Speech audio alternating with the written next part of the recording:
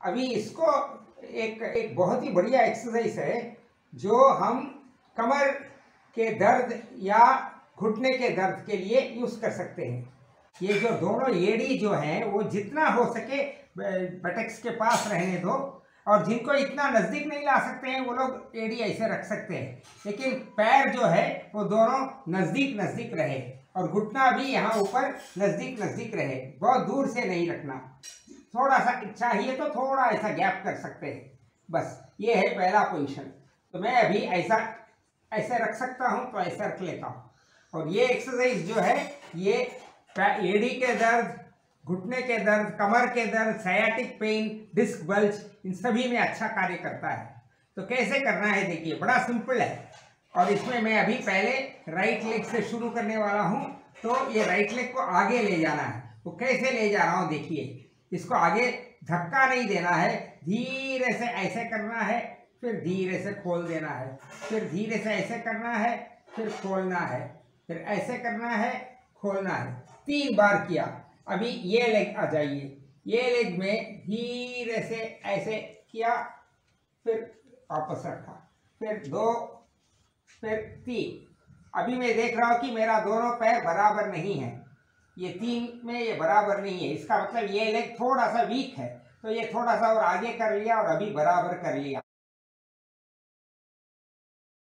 इसमें क्या करना है? कैसे अपने पैर को मैं मूव करता हूँ? ये देखिए। सो so, पहले सबसे पहले ऐसे थोड़ा सा उठाया। ये यहाँ देखिए गैप आ गया इधर। इधर इधर एक गैप आ गया। ऐसा आना चाहिए। और ये आने के बाद धीरे से इसको खोलना है। फिर दोबारा ऐसे ही करना है और धीरे से खोलना है। फिर तीन बार करना है, खोलना है। बस अभी एक पैर का काम हो गया। ये तीन बार किया, बस इसको अभी यही रोक दीजिए। अभी ये वाला पैर लेते हैं। तो ये वाला पैर में भी ऐसे ही करेंगे, देखिए, पहले हम ऐसे करेंगे, फिर धीरे से खोलना है। फिर ऐसे करेंगे, फिर धीरे से खोलना है।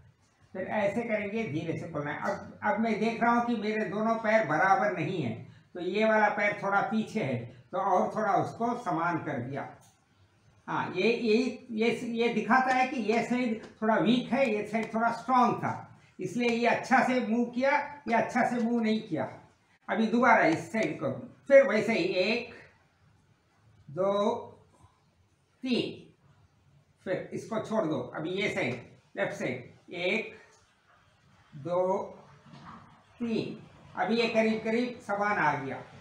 तो अभी दो बार ऐसा अलग अलग किया। इसके बाद इकट्ठा। एक, दो, तीन। धीरे धीरे करके ऐसे ही आगे बढ़ना चाहिए। चार, पाँच। ऐसे करते जाओ। थोड़ा सा खिंचाव आएगा इधर। चलेगा। हाँ अभी इसके बाद अभी दोनों पैर इकट्ठा करना है आगे। देखिए, धीरे से एक दो तीन चार। अब देखिए मेरा पैर दोनों पैर पूरा ही लगे हुए हैं। धीरे धीरे करके एक उठना लग जाएगा। ये ये देखो अभी यहाँ तक मैं कर पा रहा हूँ। अभी दूर से देखिए मेरा पूरा पैर देखिए यहाँ नीचे थोड़ा गैप है और वो वहाँ पैर एक, एक ज़मीन पे लगे हुए हैं। तो ऐसे करते करते थोड़ा थोड़ा करके ये सिर्फ़ मेरे को मूवमेंट करना है और बहुत धीरे से पैर को लंबा कर लेना है। देखिए, यहाँ नीचे गैप है, ये धीरे से कम हो रहा है और धीरे से पैर वापस आ गया और यहाँ ऐसे छोड़ दिया। ये हो गया आगे जाने का। अभी वापसी में कैसे आएँगे? तो वापसी में भी ऐसे ही स्लोली करना है। तो पहले स्लोली दोनों पैर को इकट्ठा कर लीजिए। और इकट्ठा करके थोड़ा थोड़ा करके एक एक पैर को मैं पीछे ले जा रहा हूँ। अब देखिए, यहाँ भी थोड़ा गैप थोड़ा बढ़ रहा है और धीरे से मैं इसको पीछे ले रहा हूँ और ये गैप बढ़ता जा रहा है। और थोड़ा थोड़ा करके, अभी देखिए कितना स्लोली ये जो गैप है, ये गैप को भी आपने देखना है कि ये कितना स्लोली वापस आ रहा है।